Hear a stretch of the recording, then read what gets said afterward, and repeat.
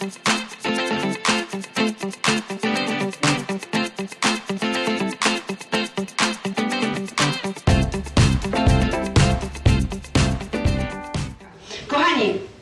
e, teraz oddajemy Wam głos. Pytania już były wcześniej. Czy będzie praca zespołowa?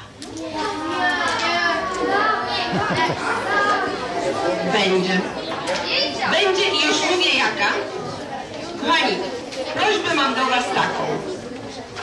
I to już jest napisane i to specjalnie dla Pani będzie sobie tu trwało. Jako studenci naszego Uniwersytetu Dziecięcego chciałam Was bardzo poprosić, żebyście spróbowali skonstruować własnego bloga. Blog to taki pamiętnik, wiem o tym.